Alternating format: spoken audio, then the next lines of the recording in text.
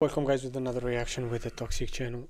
Uh, as I said before, we do Andrew, we did Andrew Tate, and I I'm gonna post it before this video, and we have other video of Andrew Tate coming uh, when he make an interview with the Romanian television, and he have another interview I think with Moore, Bob Moore or something. I, I don't remember the names, but I'm gonna do it anyway. As much as they keep doing interview, we keep doing them because every time we take some notes, so even if you, some people doesn't like it but uh, he gives good note he gives good notes and uh, so as much as you can take information from him i recommend you to take. So this one is Tr- tristan tate with fresh and fit. So it's a new podcast. They made it they make uh, andrew first and then tristan. So we're gonna see before we check it guys make sure to check the stores i have cool design there as i said it before in all video i'm going to drop it in the link in this in the description you can check the store purchase something as a support for us and i will sh show you the video what we have as design and we out of this paradise. I'm talking syncopated breathing, love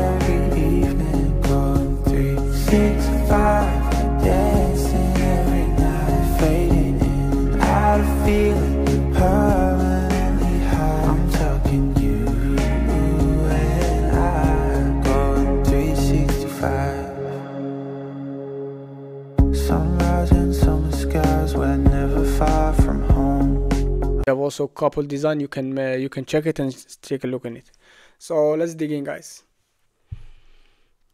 You know, and it's very interesting, Tristan, because you know they canceled you, right? And it's like you didn't do nothing. It's like what the hell did like why are they like? Yeah. you didn't say anything crazy. And it's, I always find it interesting how they're like, oh yeah, Tristan's canceled off everyone. I'm like, What did he do? Give me a like, show me something that he said that was like super offensive or whatever. And it's like they can't point to. That's the thing. It- It's nothing.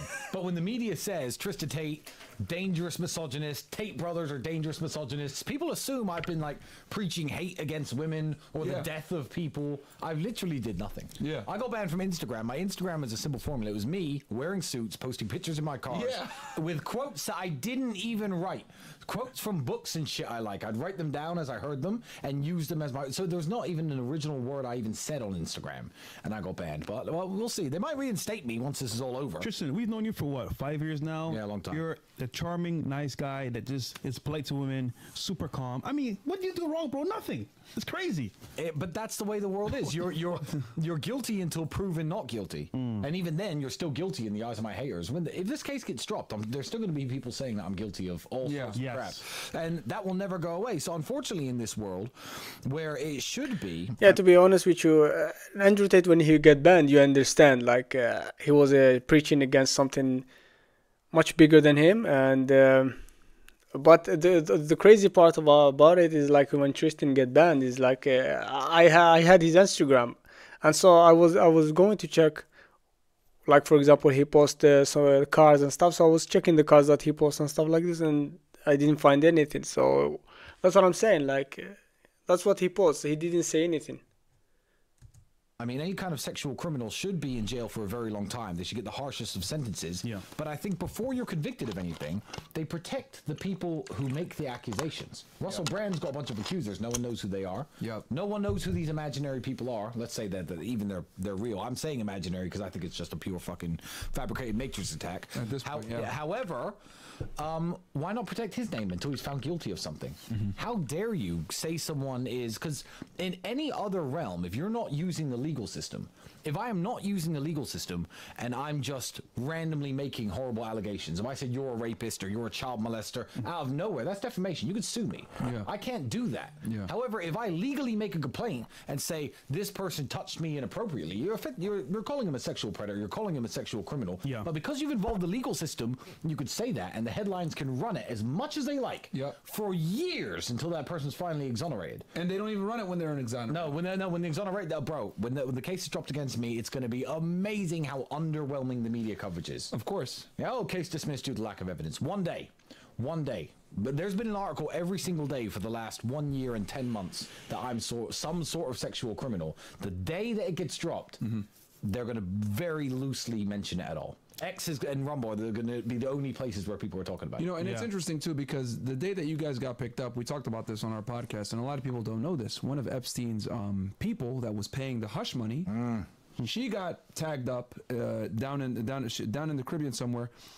And if you search anything with trafficking or anything else like that, what comes up? My face. Not not the Epstein situation. yes, exactly. That's right, right? That's So- oh, it's a very cool. It's Yeah, crazy that's crazy, though. That the woman that's paying off all the victims in the Caribbean, but in Epstein's Island, uh, she gets tagged up and no one knows about it. Conspiracy. Still, one still no one knows. Yeah. Remember, There's a line from that movie I, I like, V for Vendetta. He says, There is no coincidence, only the illusion of coincidence. Yeah. So everyone's like, Oh, isn't that spooky? I'm like, Well, no. Yeah. No, I'd been in Romania for like weeks before that. They could have gotten me any day. Yeah, yeah. But that day, Yeah, that particular day. that day. particular day, They yeah. waited for that It particular was day. planned. It Yeah. was planned. Oh, It's they, like, what the fuck, man? I'm I'm saying nothing. Of course, it was a coincidence. Of course. I mean, Yeah. Of course, that the day that you know the world's biggest human trafficking rings financer gets you know outed, that when you Google human trafficking, only my face comes up. Yeah. And I've never done shit to anyone illegal ever. And this came out very interesting because, like, you know, you've kind of, and this is this goes to show the the brotherly love between you and Andrew and how close you guys are. This came out during the PBD interview because I watched both, and you guys did both did a fantastic job. It was awesome. Yes. Um, that. Like they kind of just dragged you in as collateral damage. Like they didn't really have anything on you until like later on. Like they just like just brought you in and said, "Oh, yeah. you know." Well, well, to give you the maximum number of so the rules here is they can hold you in jail without. I trial. think uh, we all know that uh, Tristan went to jail because he's brother of Andrew Tate. So whatever, and both of them, um, and Andrew was saying like about things about uh, that he's uh, Tristan have my back and stuff like this as a real brotherhood. So, so they said, okay, it's all laying up. You going together. We don't give a fuck. That's how it went. For up to, if they pull the right Aikido, half of the maximum sentence of what you've been accused of. So me and Andrew could have been in jail for 14, 12, 13, 14 years without a trial, and they could have just dropped it then. So that's what I believe the goal was. Thankfully, judges saved me. Judges, everyone talks about the Romanian judicial system. No, no, no. You can talk all you like about the police, the way that they've conducted themselves, and a lot of bad stuff is going to come out in the future when this is all crystal clear and people can see what happened. But the judges are the ones who saved me. Some judge looked at this and went, nah, let him go. Yeah. And and the, the the people in charge of doing this to me were furious when that happened. But the judges, you know, work sort of on their own. So it was the judges who saved me. But uh, essentially, it's um adding extra criminal charges just added time they could hold me without a trial. So they've added a, a very interesting criminal charge called forming an organized criminal group. Oh. You've probably heard this. yes, yeah. Do you know how many people you need minimum to form an organized criminal group by Romanian law? 4 mm-hmm. You need four people. Mm-hmm. The my assistant, of course, does everything with me and Andrew ask her to, pays invoices, books flights, all the normal legal stuff any assistant does. So of course they dragged her in. Of course. The the, the second girl they dragged in, Andrew doesn't even know her. To this, to this day, I don't think they've ever had a conversation. That's crazy. He didn't even know her name. And they've dragged her in, and this is an organized criminal group because they thought, well, Tristan knows this girl a bit, and Georgiana knows this girl a bit. So if we drag her in, maybe she'll roll on him and flip and become a prosecution witness. If we put her in jail and essentially state sanctioned torture this girl until she flips. Uh, she didn't, obviously, because she'd have to lie to say I did anything illegal. But yeah, they needed four people for an organized criminal group. So maybe that's why they dragged me in. Maybe that's why they dragged her in. I don't know, but. I also don't. I also don't care. Yeah. Like, I also don't care. But I'm pretty sure Andrew is the target of all the attacks that are gonna come in the future, and this one. It's Andrew they want in jail. Yeah, I mean it's it's crazy how um you know, and obviously you've been there resilient right by his side, but it's crazy like how you've kind of dealt with all the consequences, even though like you've never really done anything. It's just you know, it's like the Instagram getting taken down. Literally, yeah, posting pictures of you in suits. Yes. where, you know, looking like James Bond, and you know, getting all the chicks, and it's like, oh yeah, let's take his Instagram down. Uh, YouTube, you didn't do anything on there. Well, let's just get take down all his YouTube and everything So, else like that. It's like, what the fuck, man? You know, I can take. I'll take a second to defend Mark Zuckerberg's decision. I, I, really will. I Really? will. Okay. I'll, I'll tell you why. I'll tell you All why. Because obviously my mass cancellation was orchestrated at the highest levels. I got banned from banks. Uh, you know, apps like Revolut And it was famously like locked all my money up. Yeah, all at once. Uber, Airbnb. I got the same cancellation treatment Andrew got. However, to defend Mark Zuckerberg's decision, if someone is accused of human trafficking, which governments have accused me of for the sake of trying to put me in jail, trying to shut me up, and it's a complete matrix attack, I don't know Mark. I've never met him. Okay, this guy's on your platform. He's accused of human trafficking. I can defend his decision to take me down under the circumstance that when this shit gets dropped, he puts me back up. Boom. Okay. Okay. If That's this fair. gets dropped and I'm not back up in a week or two, then clearly he's he's just a dork who sold out to the Matrix who does anything they say.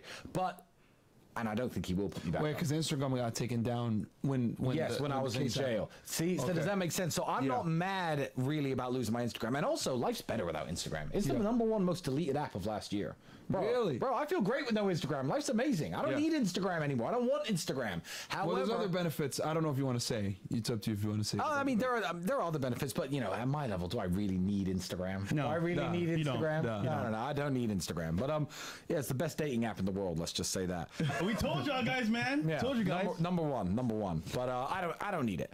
But uh, So Tristan, as a guy of means, a man of means, and a man of stature, you dress for every occasion very well. Always dapper. Thank you. Suits. I try. Tailored to point. As a guy coming up in this world of chaos, how does one start on a path of James Bonnery? Well, you know what? It's not. I, I've always liked suits because I come from London, and suits were always the, the sign of someone with money. Yeah. I worked in London doing crappy jobs. I've worked as a security guard at London nightclubs, and a really nicely made suit, you could tell. You could tell it could be plain black. You could tell if a suit is really nicely made. And in London, that's the, I guess, the sign of having money and having status. And I always aspired to dress this way. Uh, I certainly don't recommend it for everybody. If you've come from the rural South and you know from a cowboy town, I don't suggest you wear British fashioned tailored suits because you'll stand out. Actually, matter of fact, I got something to show you. Keep- going. Keep going. because you'll stand out and you'll try too much to be someone who you're not. I think it, it fits my personality profile. It fits who I am. It's in fitting with the kind of character who I am. But um, yeah, dressing well is. I think it's a lost art. I was saying this about the um. Inspired by you, man. Yeah. Oh, very cool. Inspired by you. Very cool. Actually, uh, Yeah. shooter, right? Yeah, yeah, Shooter hooked me up with this, and it's a, I pretty much look like Tristan Yeah, here. And I was very like, cool. hey, man, that's how you get the hose. Yeah. Oh, yeah, I, I can show. I, I can show the. Uh, here, let me see here. No, that's not how you get the hose, Myron. You're wrong. There, there you go. Right. This is this is how you get this is how you get the ladies. not the hose. Okay, okay, okay, okay. I mean, you, you get the hose too. You get the hose too, but the, the ladies become available to you. You know, the women who play violin in orchestras and shit, they'll talk to you. So Yeah, I you got get a the couple, ladies, not a couple of jackets and stuff like that. People say, Yeah. "Myron, do you even have other clothes?" I do, guys. I do. Yeah. I do. You know, It's I a- did a little photo shoot and everything else like that. Shout out to Tristan. Yeah, so, so there's, Yeah. no, there's, no, there's nothing wrong with dressing well. Deception is a prerequisite to your enslavement. To truly resist the slave mind, join my completely free email list.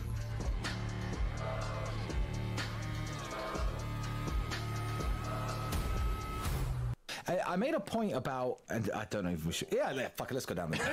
Let's go. Let's go. I actually made a point about the Black Lives Matter protests. Uh-oh. So the Black Lives Matter protests, I was making a very valid point. I pulled up an image to a friend of mine, uh, and I showed the Million Man marches when Martin Luther King was was obviously campaigning for civil rights, and all these motherfuckers who were broke, by the way, they were broke. They couldn't go into white areas. They couldn't vote. They were flat broke. You look at the men in those marches. Fucking nice white shirts, suspender belts, hats, nice pants, leather shoes, and they're dressed very, very well. And they're trying to make their point, like I deserve the same rights as you, and they're trying to make their point. But when you have people, whether it be the LGBTQ rioters, let's call them what they are, or the Black Lives Matter rioters, dressed like criminals with their masks on, or wearing fucking, I, I put a post out that some people found offensive. I thought it was pretty funny. I said, uh, if Martin Luther King had been running his marches wearing a thong and a, and a, and a rainbow bikini top, then he wouldn't have been taken seriously either. We'd have, Yeah. no, we'd have no civil Yeah. rights. So, like, dressing like someone worthy of respect is is step one of being viewed as someone worthy of respect. And some we've lost it from the 1960s, 70s to today. Somehow it's Yeah, like he's saying, in Nigeria we have an expression. We said, I will not, We'll try to dis- say it. I will try to translate it in English. He says, uh, your clothing lift you up before you you talk because when you enter to the room and you're well dressed, when they see you, they they they think high of you, and then when you sit down, now it's come to your what you're gonna go out of your mouth. So yeah, but be, but before you sit down, your clothes lift you up to a to a level, and then when you sit down and talk, then they're gonna judge you by your what you're gonna say. it's gone away. and That's I a feel like I'm fantastic helping point. bring it back. And I will say this real quick: if you go back and you look at the mobsters, right back in the 1930s during the Prohibition era, etc., uh-huh. you know, the feds are over here arresting mafia guys, whatever.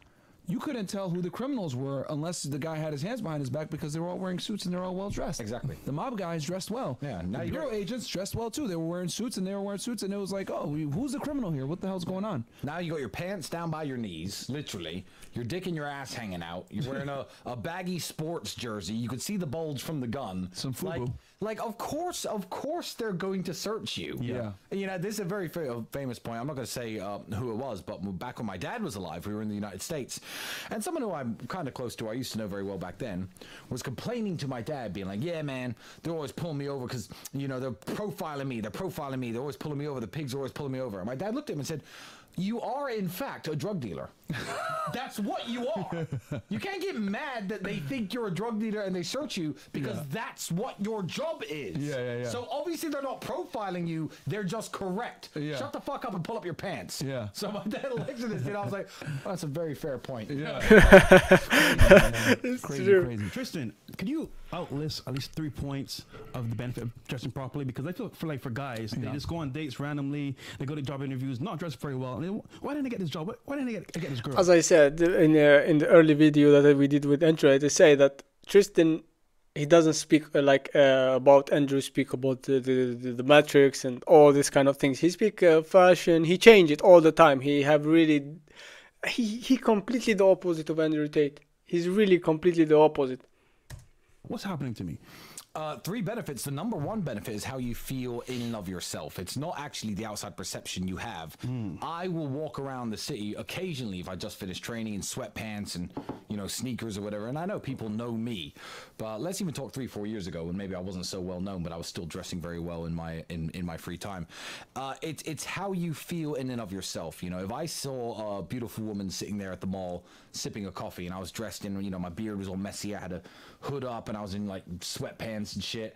The confidence Less. you you haven't maximized your own confidence if, you, you- know what I'm when you- saying. yeah, when yeah, you're dressed really really well, you just had a fresh haircut. You know, you feel like a different person. So it's how it makes you feel first and foremost. Like you could do anything. You put on a good suit. It's the same reason. I mean, this and this is universal across human nature. This isn't something specific to men. No, it's exactly- psychologically. It's specific to women as well. It's every single person in the world. Women will do their makeup and do their hair and put on a nice dress, and then their personality, you you'll know when you hang out with them, seems different. They're more full of their confidence. They're more their their natural self. Um, but definitely, it's perception as well. People take you more seriously. People are more likely to stop and listen to what you have to say. You know, if you're dressed like a homeless person and you try and dis- disturb someone when they're walking past you, they think you want a dollar. Chris, I'll tell you this though, bro. When I get a haircut, bro, I feel like I take anybody's girl. No cap. Except, except yours. You know what I'm saying? yeah, but I don't know. Just don't try. Do me a favor and don't try one. You saw how happened today. I couldn't do it. okay, cool. So uh, Confidence. So yeah, so yeah, the confidence, and then what else? Um. So it's the confidence. It's obviously how you're perceived, how you're perceived by others. Mm-hmm. Uh, people are much more likely to listen what you have to say, and also makes you more memorable. Also makes you more memorable. Mm-hmm. lot of guys don't dress Yeah. up. Keep in mind, because you go for a job interview, you have to understand. Even if you That's just what I bought your said before. kind of shirt from a store and some pants and some shoes, and you think you're dressed nice, that's like the standard issue job interview uniform. You know, the guy who's doing the job interview, I know it's special to you. I know you've prepared. I know you think, oh fuck, I really need to get this job. He's seen 40 people today, 50 people today. Who was the guy in the really nice suit? That stands out. You know, so also sti it burns you into people's minds and memories much more. Yeah. Uh, when people say when people say the word Tristan Tate, oh yeah, he always wears nice suits. Yeah. It's something that I'm affiliated with. My tailor shop has been open for 170 Matter of fact, years. when, when I did my photo shoot, the guy that I did the photo shoot with, uh, I, he did, he didn't know how cool we were. Uh, he was like, "Yo, we need the Tristan Tate look." I was like, "Oh, okay, yeah, I'm already ahead of you. I got some suits and everything else like that."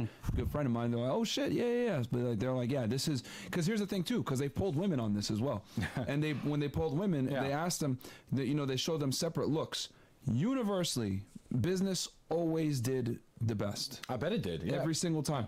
You got a shirt, you got a you know a jacket on, a shirt, a nice shirt. Whether it's tie or not is is not that big of a deal. depends on your but style. basically, business, business, casual, always did the best. Well, and also, and also, it, it- people do know that nice suits aren't cheap either. People Yeah. do know it is a status thing as much as a nice car or a nice watch. People know that a good suit can cost you know upwards of five grand, up to 30, 40, 50 grand Yeah. for a really nice suit. Yep. So, you know, it, it's a status thing, just like a nice watch or anything A else. huge, huge status. Yeah. You know, I said this to I said this to a, a girl I know very recently. She got mad at me because you know women have women have I don't want to sound too much like my brother, but women have a propensity to be irrational sometimes. let's just let's just leave it at that. So, I she- love that. So she asked me this stupid question. She goes, "Oh, do I look better with make, makeup or no makeup?" I said, "With makeup, Yeah. of course. You look you look much better with makeup." She went, "Oh, that's a bit mean." And I said, "Whoa, whoa, whoa, whoa! Why the fuck do you wear it? Why do you put it on? If you don't Yeah. think it makes you look better and you don't Yeah. think it makes you look nicer, why do you spend an hour doing it before I take you fucking anywhere? Yeah. Of course you know it makes you look better. And I was giving the example saying if you asked me, if I said to you, hey, do I look better in my underwear and sweatpants or, uh, well, depends, maybe she likes my shirt off, but, or, or a nice suit. Of course they're going to say nice suit, and there's nothing wrong with that because Yeah. people like effort. Yeah. People Yeah. like effort. Yeah. That's what I like in women, and women like exactly the same shit in men. Yeah. So that's not lies. So Yeah. yeah. I like to dress well, and I think we should bring it back. And actually, that's one of my favorite things about the world and the change I think I'm making. The number of pictures I get of dudes who bought their first suit, who are like, "Yeah, I'm wearing a suit to school. I'm wearing a suit to high school." I'm like, you know what? Good. Good, because I'm sick of everyone looking like fucking bums, especially, no offense, in the fucking United States. No, no, no. Now I'm pissed. Right.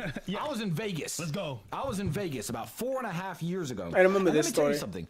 When you are dressed very well, you aren't in a place, you become the place. You Mm. become part of the ambiance of the place. Mm-hmm. Let's say you take the fanciest restaurant you could think of. Imagine a very fancy restaurant, right? And you walk in there and everyone's in fucking beach shorts and crocs and baseball t shirts. It ruins the ambiance of the restaurant. So you're also doing your part to add to the aesthetics of a nice location. So if you go somewhere like Monaco to the casino, you can't get in wearing a baseball shirt and crocs. They won't Yeah. let you in. Yeah. Doesn't matter how much money you have. Yeah. But you go there dressed like me, or I'd probably dress better than this if I went to the casino. I'd be bow tied up and everything. You, I'm adding to the aesthetic of the place by just being a man in a thirty thousand dollar tuxedo standing by the bar sipping drinks. I'm adding to the place. Whereas if you go somewhere looking for a bum, like looking like a bum, You know what? But what I like about him, uh, I one day um, I shared on TikTok and, and shared on TikTok one of his speech, and they they they took it off. I, I didn't get it why, but it was a long time ago. And he says uh, to be able to look really good in a suit, you need to be in shape, and that's really the case because he will not look uh, such like really good on suits if he wasn't that jacked. That's true though. You're subtracting need to be look- from the aesthetics of a beautiful place. So I was in Vegas. Um, it was around about the time that COVID first. Yeah, and it's true. I also like suits. I like to wear suits. I have different, I have different suit, not suits like that, but I have classic clothing. But they, they don't go well.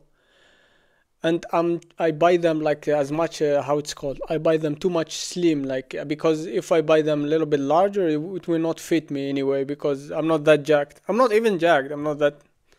I don't see First trip, myself. but Like, Vegas wasn't that strict because they wanted everyone gambling and shit. So I'm at the, the table. They moved me up to a higher rollers table. So I'm on this little platform in the middle. I'm playing triple zero roulette and I'm fucking up. I ended up walking away with like sixty thousand dollars. Damn. So I don't know how. I was drunk as fuck. I was with some Russian girl who's next to me who I met on some dating app, I guess, in Vegas. Can't remember her name. Sorry, baby, if you're watching. I, of course I remember. I just don't want to out you on the internet. So anyway, long story short, I'm fucking gambling, throwing down about one or two thousand dollars everything every single spin. You know, winning, uh, you know, three, four, five, six thousand if I if I won. And this dude comes up, yeah, man, this is where the high rollers are. Let's gamble. Fucking, I see a massive wad of cash hit the middle of the table. I turn to my right. This fucker is wearing a fucking baseball cap, some t-shirt that looks like it had stains on it. He's got this big fat gut, uh, cargo shorts, Oh. sandals, and socks. And I'm like, 2005, I and I'm like, this guy clearly has money. I mean, he just threw down 10, 20 G's to gamble with. He clearly has money. Why the fuck is he dressed like that? Hmm. And it's uniquely an American problem. You go to Russia, you go to Eastern Europe, that doesn't happen. It's it's uniquely an American problem people It's like, true. I was living in Eastern Europe. You will not see this kind of thing, especially when they go even a simple restaurant. They gonna be fucking like really looking good. They don't go like uh, you see them in shorts or fucking baggy jeans or stuff like this. I, I, I don't know. I, I saw this this kind of style only in the West. You know, when I came to the West, I started seeing this. They don't care how to go to the restaurant. Just they can wear a pink shirt and a black shirt, and they don't care at all. But when I was in Eastern Europe, it's different. The fashion is really high. Even though you say you think that Eastern Europe doesn't have money, think again. If you was living in Kiev like I, I was, uh, you will think again. They have a lot of money, and even when I was going to even small coffee shops, like small coffee shops, they when you enter, they are all uh, in. The women are all, the women's uh, especially the women, they are all like um, looking classic. They're looking fashionable you know and uh, the man is not such such such high there but in all cases uh, when you go to much higher like to go to restaurant this is a coffee shop but when you go to a restaurant you find the man with the suits and stuff like this but uh, coffee shops no i don't think Like, oh, well, I'm worth so much money. I don't need to dress well. Well, wait, you don't. But I think you're a dick, and you look like a dick. And that Russian girl who I was with, I was with, didn't want to suck your dick. So why the fuck are you doing that to yourself? Dress nice and become part of the event. Yeah. Become part of the ambiance of the high rollers table of Vegas. I took my winnings and fucking left. I didn't want to stand next to the dude. Yeah. So you ruin it for everyone else. Yeah. By thinking you could just rock up looking like a bum. You ruin it for everyone else. And if enough people do that, everything gets shit. Yeah. Clubs would get shit, restaurants would get shit, everything would get shit if everyone stopped putting in the effort. And I also want to let the audience know you don't have to spend a bunch of money, guys, to get a nice suit, man. You, um, you know, I think, uh, and Tristan will probably agree with me on this. You're better off getting a cheap suit that's well tailored than getting an expensive suit that isn't tailored. Bro, buy a suit one size too big and have your basic local tailor cutting the sides, cutting the legs, make sure the legs are the proper length, make sure that when you when you when you hold your arm up, your shirt comes out about an inch longer than your sleeve jacket. It's very simple stuff. And you can get a really you can get a good suit for three, four, five hundred dollars if you go to Hugo Boss or something. But you can get much cheaper than that. And if it fits you well and you're in decent shape, that, Even H&M, I, I mean, think, has we're in. America. You can go to Zara, H and M. Yeah, they do Yeah, good. suits. yeah, They- cheap as bro, shit, And, and and they're good tailored. suits. Yeah. And if you and if you're in decent shape, that's the key. If you gotta be in shape, If yeah. you work, it's like t-shirts. It's It's like t-shirts. dull. You wear a plain black t-shirt and you're in good shape, versus wearing a Versace t-shirt that costs nine hundred bucks but you're fat as fuck. Yeah. Which one do girls prefer the look of? The guy in the t-shirt that costs three dollars. No one Unanimous. cares. Business Yeah. is always always wins. Yeah. Bro, Um, well, go ahead. when I got into shape, bro, I stopped buying designer and like just like wearing a plain black tee. Perfect. Wait, That's all you brother. Let me ask you this, Tristan. So for the guys out there that are watching, right? Yeah. What is the starter kit that they should get? Um, as far as like suits, shirts, colors, etc., shoes. There's- what should because obviously there's levels to it. You got to build your wardrobe up. So for the guys out there that are watching.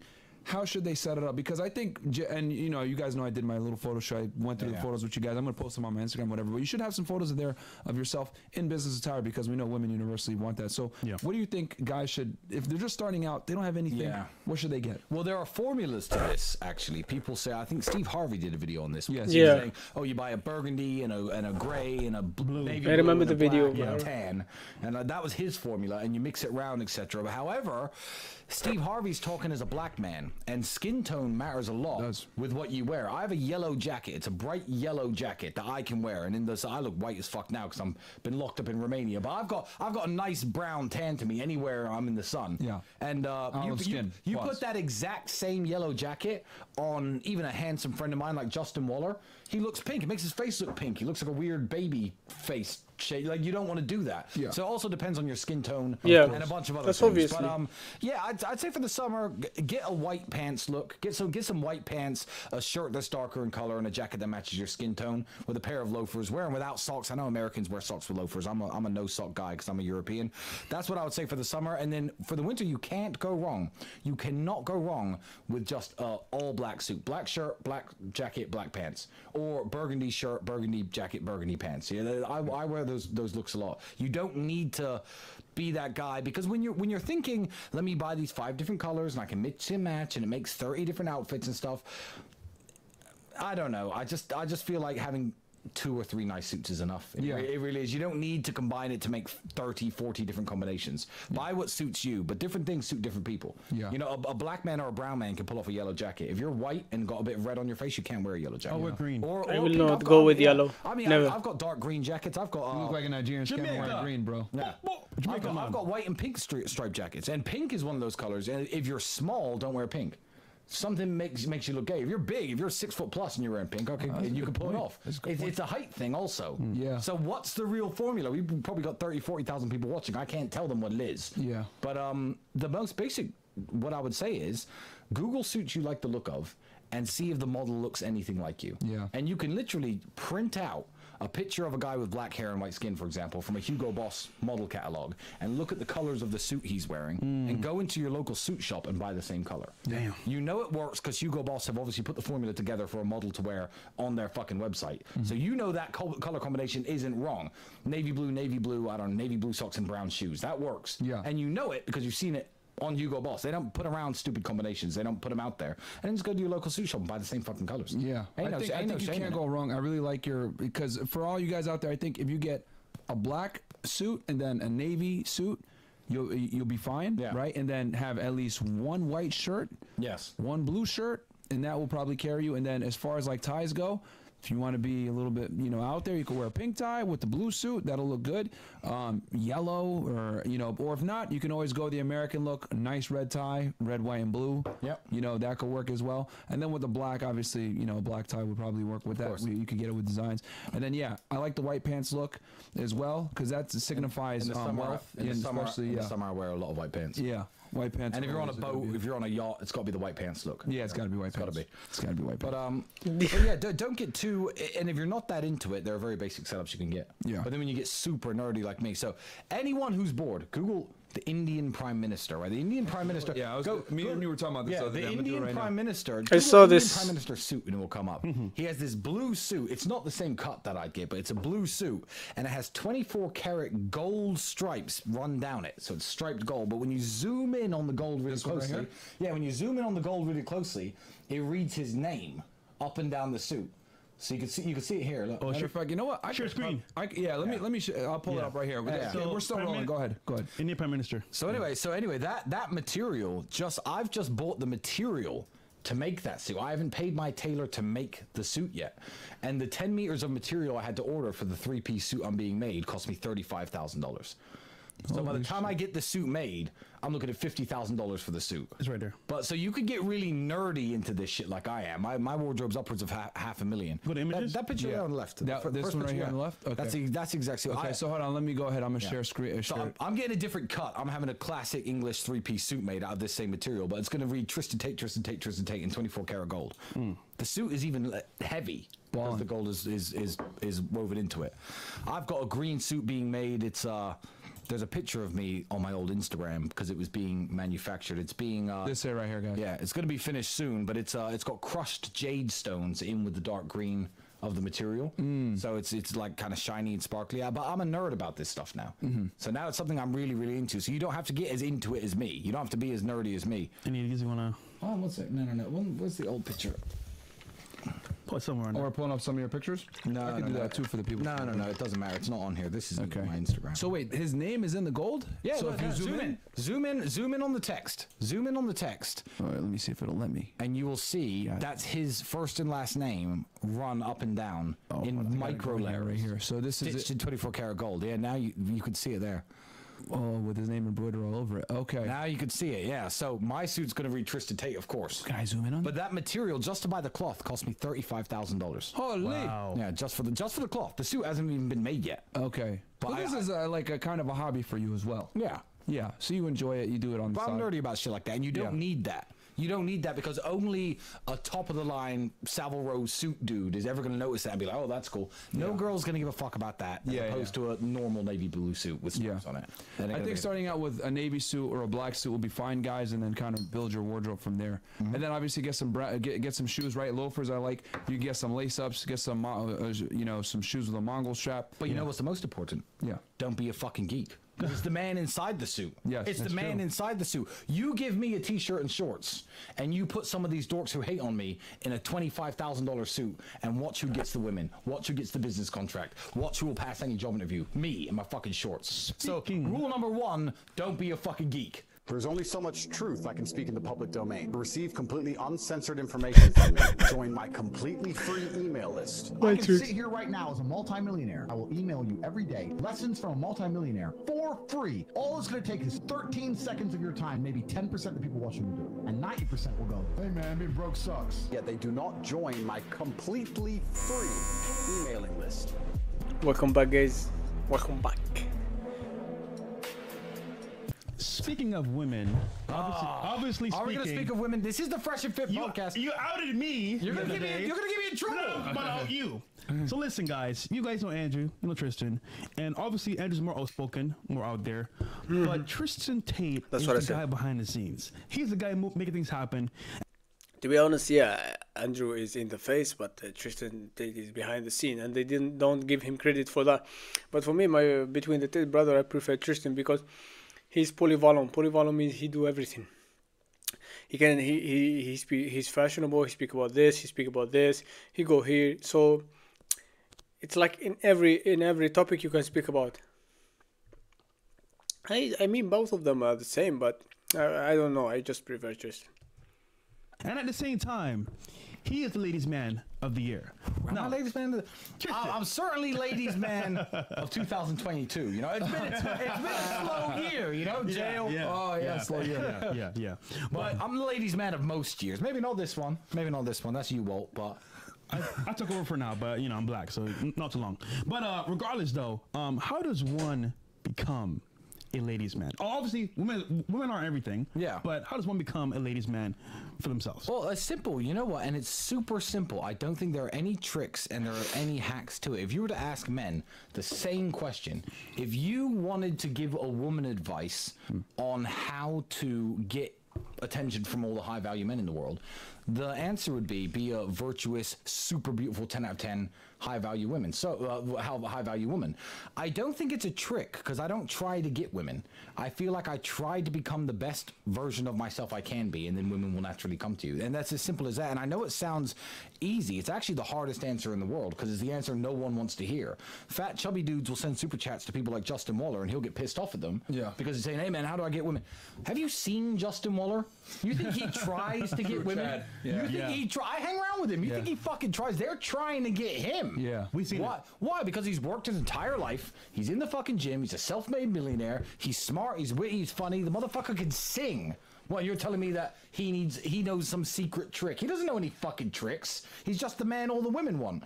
So yeah, yeah. I mean, try to be the best version of yourself. It's as simple as that. Work out in the gym, read something, learn something, become interesting.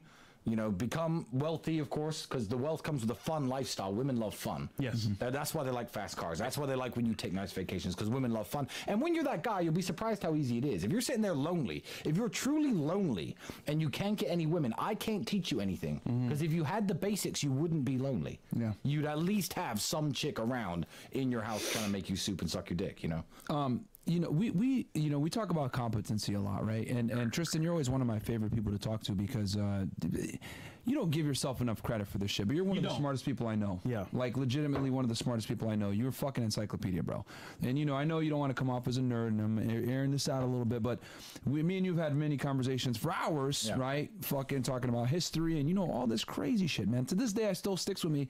Uh, when you told me about um, the Mongols, the reason why they won so much is because they lived off their horses. Yeah, because- I didn't fucking know that because it- shit. because each each Mongol man was already a ready-made soldier before he even had Yeah. to learn it. He didn't have to learn anything to become an effective part of the army. Yeah. Yeah, and then like, and then they lived off their horses, so they were Yeah. able to like. Well, use one of their strategies. Uh, correct me if I'm wrong here. Let's see if my memory serves me correctly. Uh, a year and a half three- later. yeah, yeah. So uh, literally, um, they uh, they would retreat when they were low on numbers, Yes. live off their horses for a bit, and then they'd come back and engage back in combat when the enemy least expected it because they didn't expect them to come back because they're like, oh, they got to run back for resources and to the- get food. Yeah, yeah, and then with the Christian kingdoms, they fought in a very different way. So the first Christian kingdom that was invaded by the Mongols was the kingdom of Georgia. It's on the other side of the Black Sea, and they fought in the way that let's form up our army and then have our fight and see who wins. The Mongols had no real concept of that. They go there and harass them and shoot them and kill them and just go away. So imagine you're a knight. You take off your fucking armor. You go to sleep. Oh, they're back again. Shit, try and throw your shit back on. Like it was, it was so disorganized. Yeah, I did tell you that. Yeah, yeah. well done. So 100%. th- th- that's that's accurate. But like, I like I'm in my head. I'm like, what the fuck? Like, how do you know shit like that? And and I say all that to say this because we're talking about women, right? yeah. Guys, knowing shit like that, being a smart person, you can make it interesting, even though it might be like nerdy. Like you guys would be surprised that like people say, "Oh, well, girls are dumb," blah blah blah. But if you're able to be a good storyteller and convey history in a certain way and apply it to the conversation that you're having, etc., you'd be surprised at how many women would actually be intrigued and interested. Like, wow, I didn't, I didn't know that. That's Wo- like a fun fact. Women are always interested in learning new stuff. Yes. Women are always interested in hearing new things that they find interesting, and it always depends on the vehicle of delivery. Yes. you know, it's the vehicle There of we go.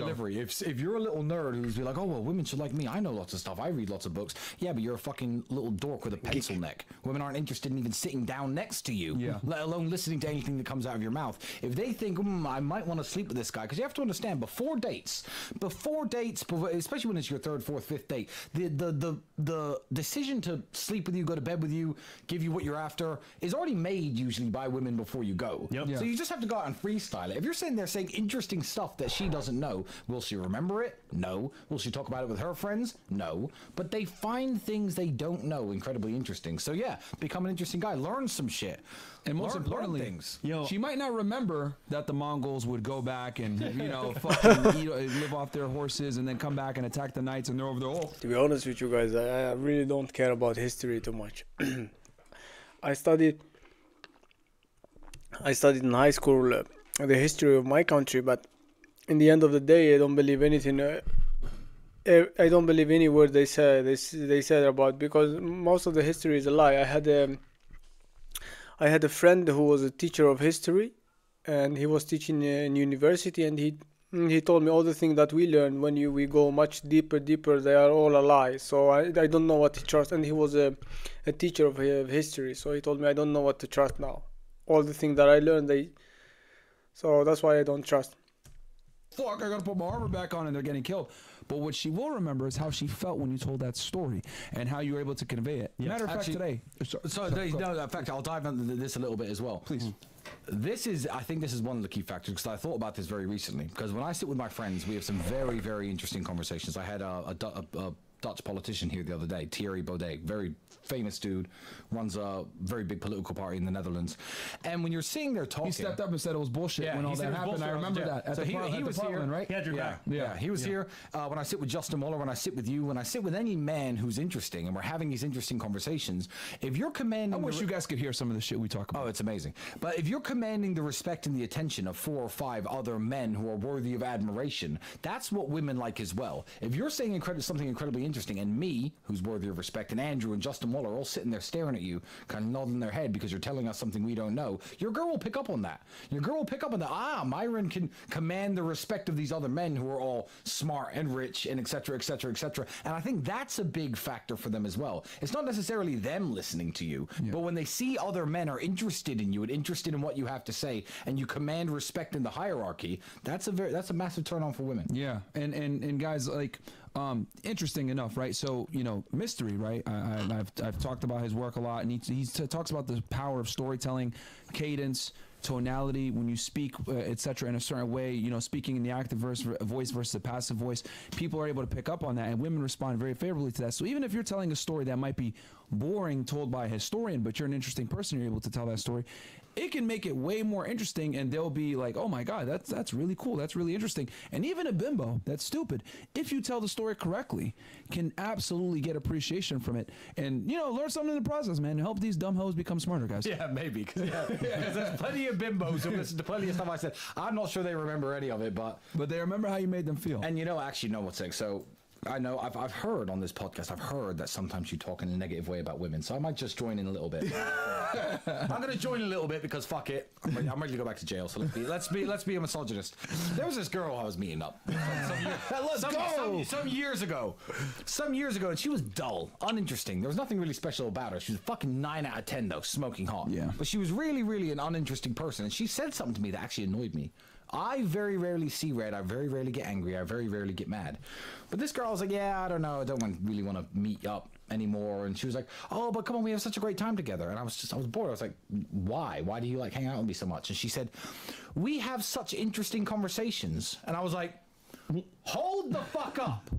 We have interesting conversations. No, we have interesting conversations. We have interesting conversations. Yeah. Me telling you shit is not me having an interesting conversation. The fact that you can sit there and claim my knowledge of everything as an interesting conversation because you sit there with your dumb, fa- uh-huh, uh-huh, that's interesting. You, that was not an interesting conversation. I was furious. Yeah. I was like, you know what? Now, fuck it. You know, she got her own way there because I saw her a few more times after that. I was like, come here, come here, write down everything you tell me tonight. Zero. Right. Zero. Nothing.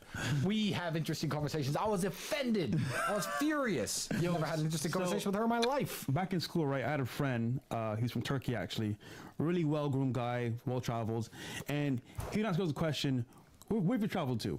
They would say, oh, I've just been to like, you know, Texas or, you know, maybe like California. Oh, well, I've been to, you know, Romania, I've been to Texas. I'm so sorry, uh, like, for example, European countries. Yeah. He tell a story that wasn't really true, but because they don't know the country, he tell it like a fucking lie. Oh, and by the time he's done with the story, they're like, "Oh my god, that's amazing!" He like, you know, I went to the top of the mountain. I said this this, this lady from Burning House, and like, they're like, "Wow, "This is amazing!" But he told the story in a, in a succinct, clear way that was really like very Engaging. vivid. Yeah. and they they fell in love with the story, and before you know it, you smashed them the same night. You know who Yeah. falls for that? American chicks. All the time, bro. They'll say shit to me like, "Oh, have you ever been to Paris?" I'm like, "Oh, you should see it." it's amazing. It's a fucking shithole. Yeah, Paris it is a dump. It But I'm like, "Oh, you should see." No, I'll be there this summer. Like, it's like Sucks. it's the mystery. Paris 'Cause sucks. they don't know anything. They don't know. They never been to fucking Paris. They can't spell Paris. Did you see the new Napoleon movie? oh my god. You saw it? Were you were you told to ask me this by any of my No, no, friends? no, no, no, uh, no. Because so check, I am pissed. so I was Furious. So check this out. Me, Wow. me and my girl been watching it, right? And I was like, you know what? I'm gonna watch this, and I'm gonna get with Tristan and see how historically accurate this thing was. Okay. Jesus, I. How much of the movie do I remember? I was drinking at the time. I was so pissed how inaccurate was. He was like, I also I saw s- I saw the uh, the trailer of Napoleon, but I didn't want to watch it because uh, I don't like anything French. Simple. Historically accurate. Nothing about is it? racism. It's just I don't like Basically anything. zero. Oh, even though I speak the language. Well, what you have to understand is this: he has a book. There's a book called The Corsican. It's his own memoirs over the over the years. His own. Is it better than Mein Kampf? And when you read, uh, I'm just kidding. I'm of just kidding. course, Oh, he okay. has a book. There's a book called The Corsican. It's his own memoirs over the over the years. His own. Is it better than Mein Kampf? And when you read, uh, Mein Kampf is the book of Hitler. I'm just kidding. I'm of just kidding. course, that's a terrible book. terrible book. Terrible book. Shoot me. Anyway. Are you trying to get me in trouble? Are you trying to get me in trouble? bro, bro. No, my bad. Let's move on. Let's move on. Anyway, the long story short is it, it's clearly written by a hyper intellectual man. He was a lover of science. He was a lover of everything, military strategy, etc. He wasn't a fucking man child. And reading his own words, you could tell that. So Joaquin Phoenix was obviously briefed to give this. He was the Joker in a Napoleon outfit, essentially. So the whole he's a man child.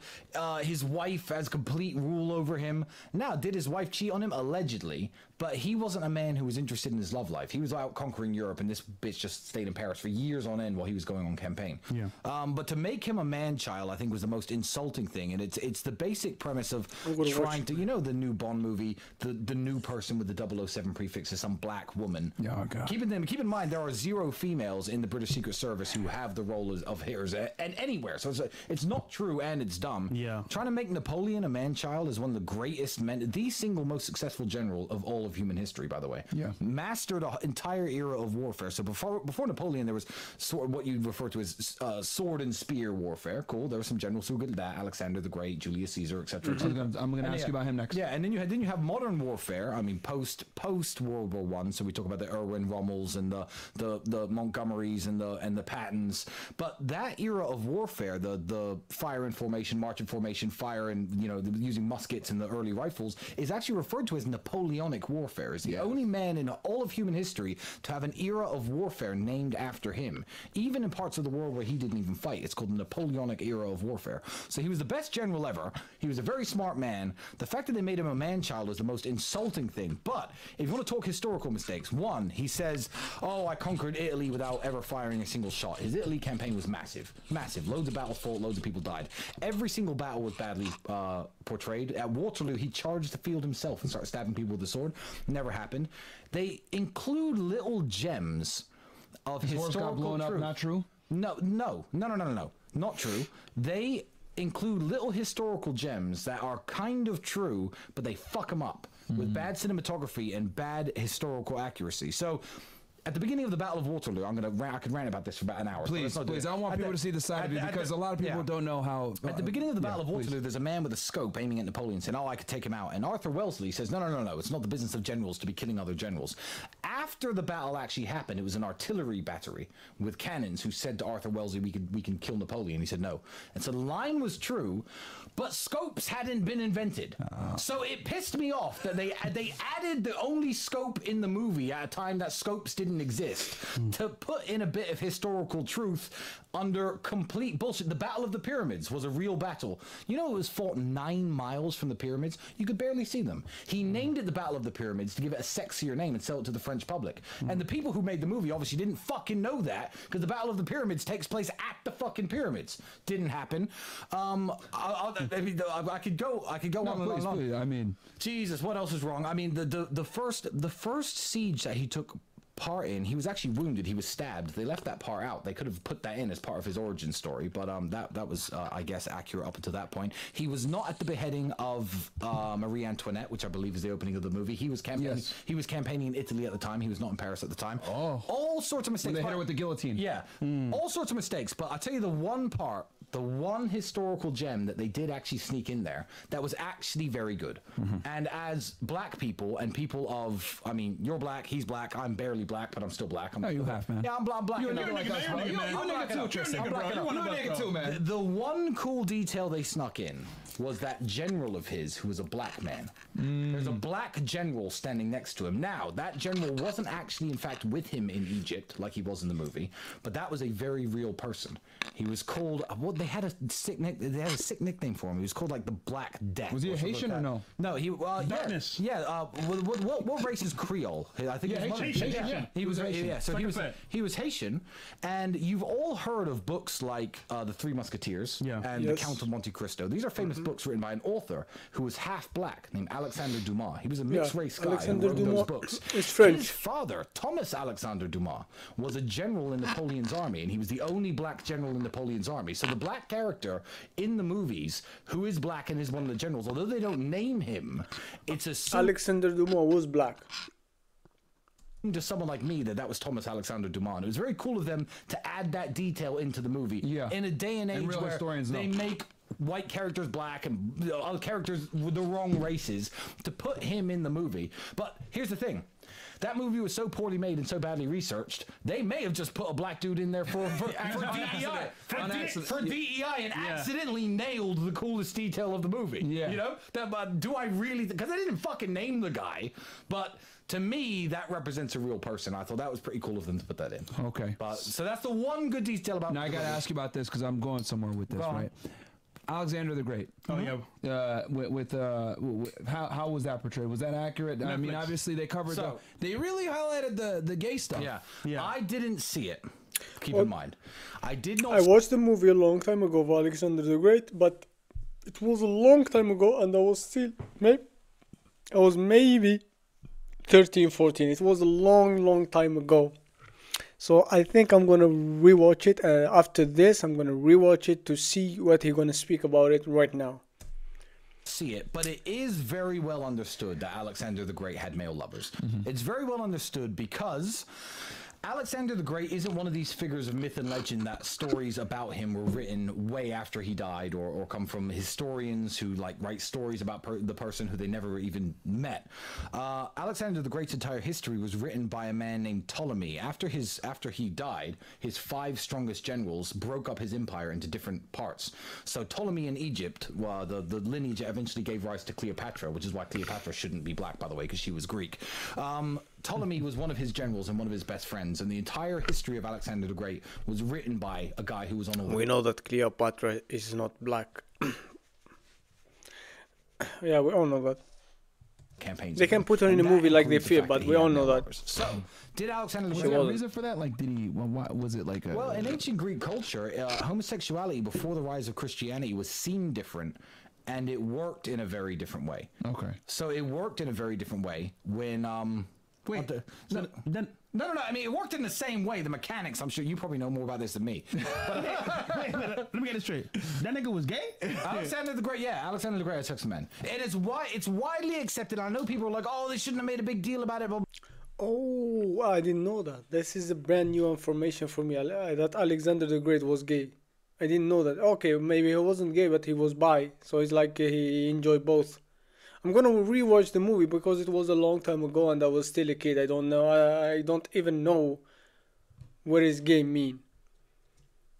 Blah. But look, if you hate historical historical inaccuracies and you like things being portrayed accurately, I hate the fact that Cleopatra was black because she wasn't black. I hate when they do this shit. Denzel Washington is allegedly going to play Hannibal of Carthage, which annoys me oh, because what the well, he doesn't look Tunisian, and plus Hannibal was like 29. You can't have a 75 year old, 70 year old black man playing a 29 year old Tunisian man. It annoys me. Hannibal you was can't get mad at the fact that they made Alexander the Great gay because he he was widely understood to have had wives, etc., and also male lovers.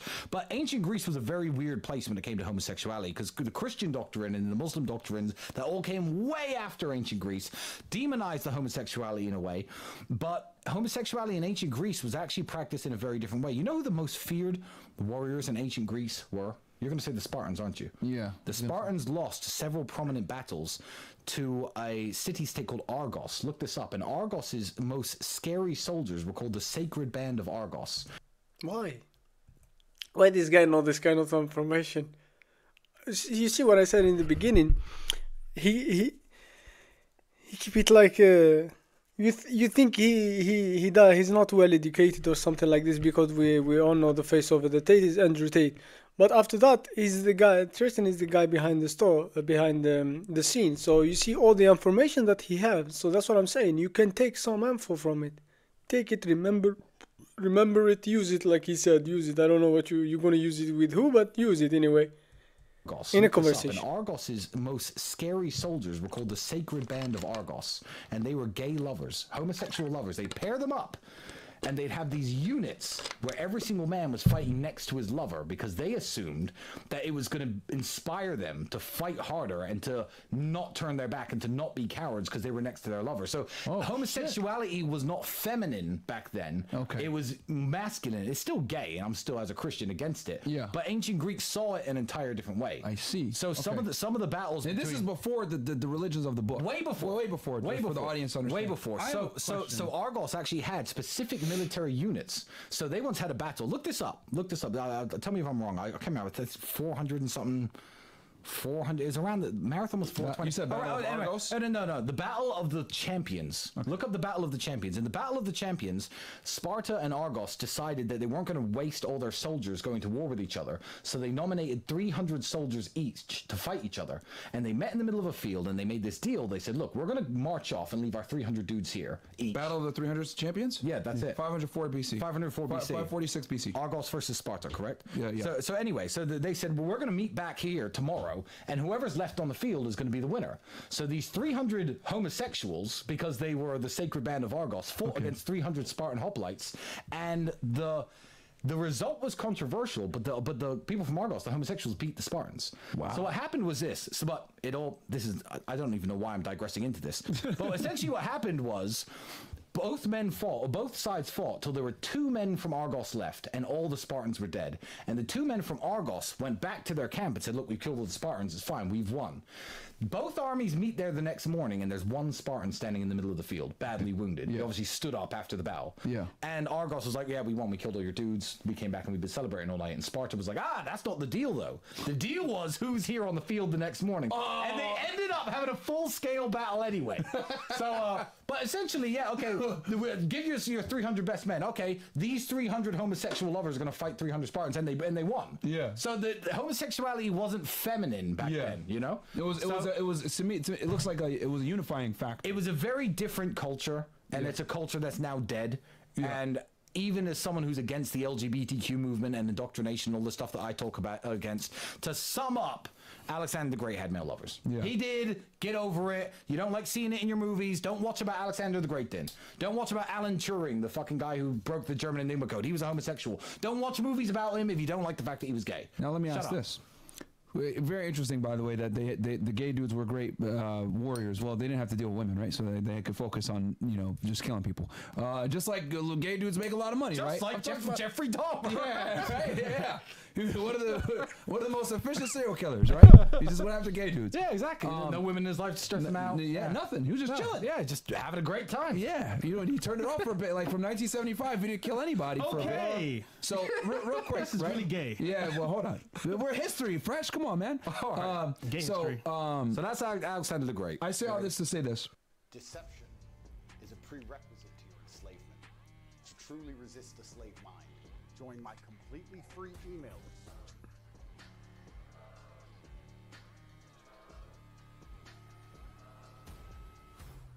I find it interesting that they took Napoleon, great Mm-hmm. conqueror, and then they take Alexander the Great, another great conqueror, and what do they highlight? The, the you know the the, the infantile the, the you know the short man syndrome.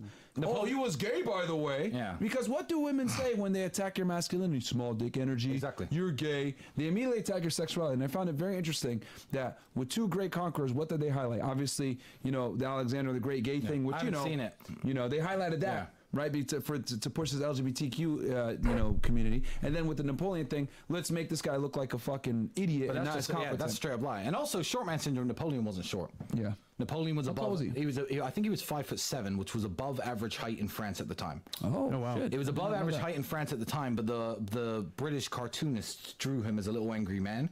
So Napoleon syndrome, short man syndrome. He wasn't short. He wasn't below average height. Okay, for that So, time. Yeah, for that time. So that's a myth. Five foot seven is a bit short today, but Yeah. back then that Back was, then, that was- yeah. that was people, the people aren't the malnutrition yeah, was that- that- rampant, yeah. scurvy. Yeah, that was but that was above the height of the average Frenchman. So Napoleon wasn't actually short. And the real Napoleon is such a badass. And when you like him like I do, you can't watch that movie. Okay. You can't watch it. It's, So it's I find it interesting that they took two great conquerors and made them look fucking crazy. That Yeah. was my point here Well, with I- mainstream I, media. I'd, I'd like to see the Alexander the Great thing because one of the arguments, because I haven't seen it, Mm. and I said, well, he was a homosexual. Someone said, yeah, but eight minutes in, he's like making out with dudes. And I'm like, okay, you don't have to.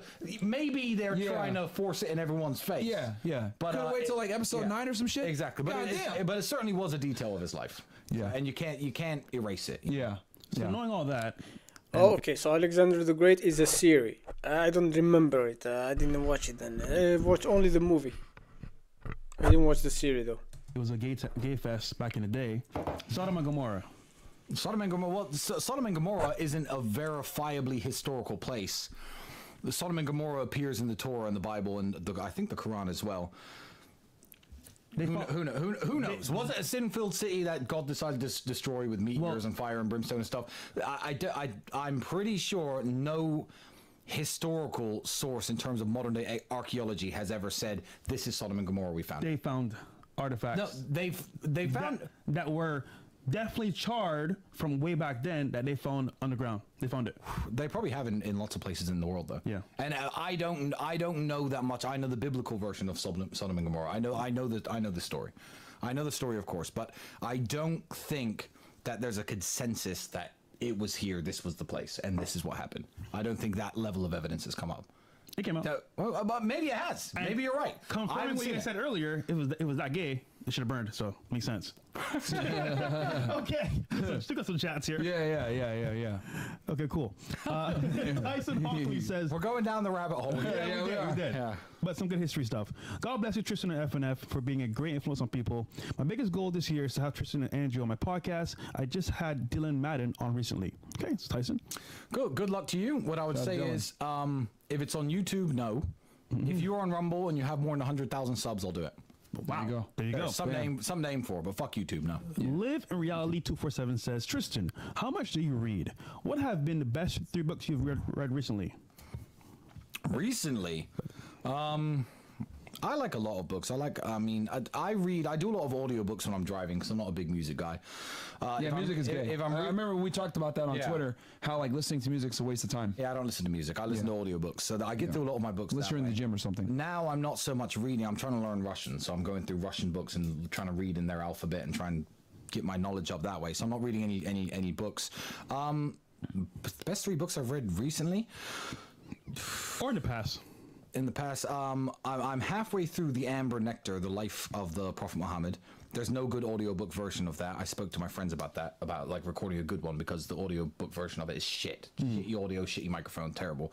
Um, that Uh, for for us as a Muslim, uh, the best story of uh, of of can be in the in the for us as a Muslim. I'm saying like uh, it's the the story of the Prophet. You can read it, you can check it up, and you go you're gonna see how the Prophet was an extraordinary human beings, and um, just look it up. Because me, I, uh, it's obviously I I I I read I, I check about the prophet but you I take like this uh, this guy gives story like this and I take this and I take this and I didn't find like just a story who speak directly about him and we watched the movie also but the movie is also cut into parts. There is part of true but there is cut in of part. They don't give everything. So I take this I take this I take this and I recommend everyone to to to study how the prophet was That's that's very interesting. I'm halfway through that. I'm uh, A Farewell to Arms by Ernest Hemingway.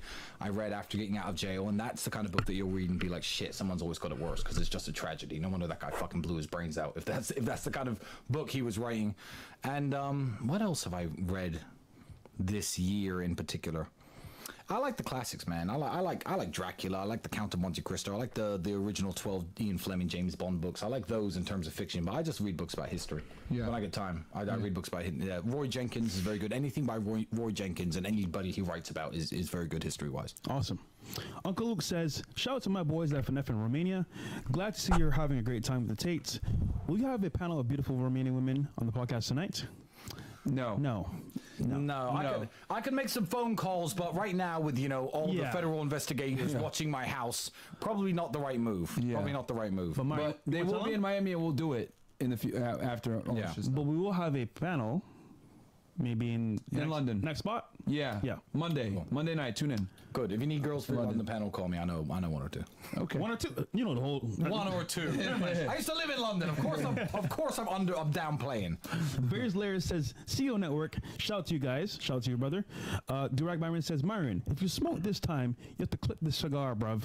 Last They stream, noticed clip it. you kept trying to light it. They noticed WFNF, they, they noticed it. they were like, I thought I thought it was clipped. I've seen the comments. listen, Nah. I gave it to him. He did it for me. Okay. I thought it was clipped when you gave it to me. Shit. Okay. Yeah, they're on to you. Yeah, goddamn They it. noticed that. I saw the uh, comment section. Juggernaut. Fuck. Okay. Please, guys, Rumble's not available in Romania for Android phones. If one of you, FNF or Tristan, could speak to Rumble staff, I'd be forever grateful, and not only me. It's it's spreading. It's spreading. It will be it will be available in more countries soon. That's something that they're pushing every single day. Yeah. Scott says, please unban me from commenting on Andrew Tate's Rumble channel. No, you were banned for a reason, so no. Yeah. Okay. we didn't ban you for no reason. So Exactly. whatever you said, you deserve it. Probably spamming. Yeah. Dem Boy says, legendary collab, full circle, and fresh. Please let Myron and the chat come on, dude. Don't practice now, lol. And Myron, how do you feel that your cuck friend told his uh, community to attack your chat for clips? What? I think, believe I think he means uh, S. I don't believe you. Whatever. I don't believe that. Nabson says, we need a Tate for President t-shirt. I agree. Yeah, no, that will get me shot. Don't don't wear that T-shirt. don't wear that T-shirt. Me or Andrew will get smoked if they thought we had any political Actually, political that's- ambitions. that's- and and b- quite frankly, I don't. So I'm not trying to be president of anywhere. That's a good point. Christy says, Tristan, single mom here. My teen sons, my nephews, and I watch you every single day. For years, they are jiu-jitsu, football, and basketball champs, and lead Bible study in school. Love you so much.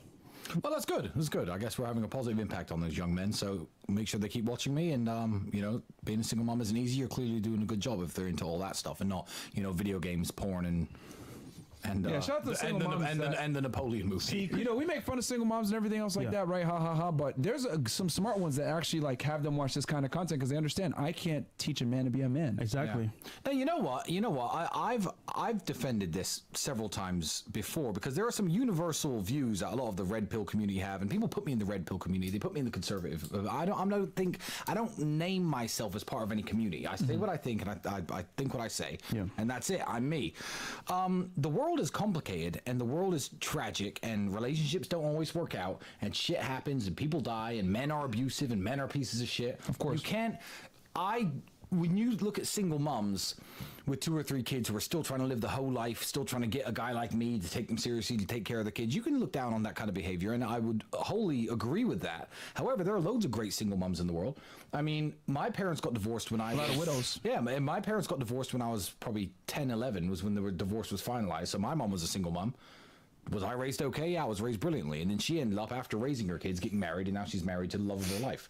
So, you know, do, do I think her now husband should have looked back, what, eight, nine years ago when he met her and said, single mom? Just like actually grow up because the world's more complicated and it's not all black Of and course. white. And there's not one rule that fits all. So don't be so hard on single mothers. Here's a gray area. That's uh, actually true. They Love Clyde says, as a fellow little brother, shout out to Tasman T- Tristan Tate. Shout out to you. That's uh, Don DeMarco for 100 bucks. IRS says, keep up the great work, gen- gentlemen. The world needs to see this. If there's no struggle, there's no progress. IRS again, 100 bucks. Uh, Tony Klein says, when do you guys believe the Money Monday about cars will happen? Next Monday. Next Monday? After we get back from uh, uh, Yeah, yeah, England? yeah. We'll Yeah, do one yeah. for you guys. Yeah. Um, you guys mentioned the last latest business credit card podcast. You're planning this estimate date. So next, Probably Monday. the one after that. Yeah. So there you go. Next next, next Monday. And then we'll go uh, 100 up from here. Uh, we'll read these ones that came through, but And then last one, Fidel says, "What do you think about El Salvador?" El Salvador. He spelled El Salvador wrong. Yeah, with a C. Yeah, he's well, so he can't spell. Well, El Salvador is a very interesting case study. El Salvador is, um, you know, I was speaking about El Salvador. I'll, I guess if you're from El Salvador, I'll answer your question and, and give some credit to your president because some new guy came along, and you know, they protected Assange, if I'm not mistaken. uh, no, that was that was um that wasn't El Salvador. That was uh Ecuador. Ecuador. Ecuador? I think I think it was in the Ecuador. Yeah, he, was in he lived there for like seven years or something like in that, the- and the he con- and the consulate in London. Yeah, I think that was the Ecuador. Okay. Consulate. I, I believe so. My double, bad. Double check that for me. But um, El Salvador, yeah. So El Salvador, Uh, for those of you who are watching who don't know this, recently got a new president, and this new president was sick of his country being run by gangs, was sick of, sick of his country being flooded with drugs, was sick of his country being known for criminality, and he Ecuador, my bad. Ecuador. Yeah, it was Ecuador. You were correct. And he just started rounding these motherfuckers up. You got a gang tattoo? Fuck you, guilty. Rounded them all up and put them in jail. And I'm going to say something that might get me in trouble. This is why I'm glad this show isn't on YouTube. Rounding people up, right, mm-hmm. has been given a bad name. The Stalins, the Hitlers, the British Empire in South Africa with the Boers. Rounding people up was the beginning of so many tragedies in history that people you know look back on and, and hate that nowadays no politician could start a sentence with well we need to round them up and then no matter how humane the solution so el salvador's president thought fuck this i'm rounding them all up Yeah. rounding them up you're a gangster cool check it strip naked you got a tattoo fuck you five years Here's a, here's a here's a book. Educate yourself. MS-13 Yeah. probably. Yeah, let's let's Yeah. let's round them all up. And the country's crime statistics absolutely transformed. Its economy absolutely transformed. Drugs plummeted to near zero. Like he just rounded them all up. And when problems get that bad, you do get to a point where sensible politicians need to say the words round them up and then. For example, how do you fix California's homeless crisis? Ooh. Like, that's a very difficult question. Given the money isn't going to help, they like being on the streets, most of them. Drugs are fucking everywhere and because the border's open and drugs are being flooded in. These people are drug addicts and crack addicts, etc. The the solution, whether you like it or not, and I'm not advocating for anything violent against anyone, but the solution starts with round them up and then. Yep. But no politician in America has the balls to say the words round them up Yeah. because it's scary. Oh, there's too many illegal immigrants that flooded into uh, America. What do we do? Well, round them up. Yeah. And then process them and get them back to where they should be. You know, the, saying round them up makes everyone shit themselves. So God bless the president of El Salvador because he just fucking went for it. Yeah. And he's cleaned up his country entirely. Yeah. So good for him because he wasn't afraid to break that taboo and just start rounding these motherfuckers up. You want to be a gangster? Cool. Come with me. There you go. Yep, absolutely, man. Yeah.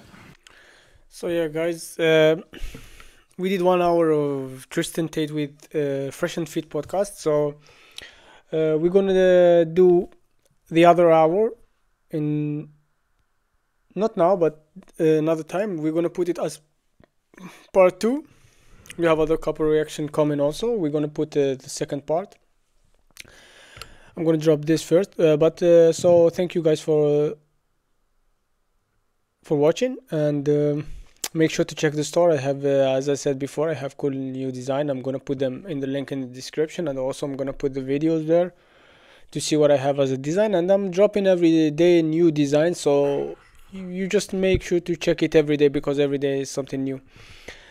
And make sure to purchase from, from there as a support for us guys. And if you want like to see something on a t-shirt just send it to me on instagram and i will make it in a t-shirt with a design and send it to you. Hopefully you're going to enjoy it. So thank you guys and see you for another reaction. Peace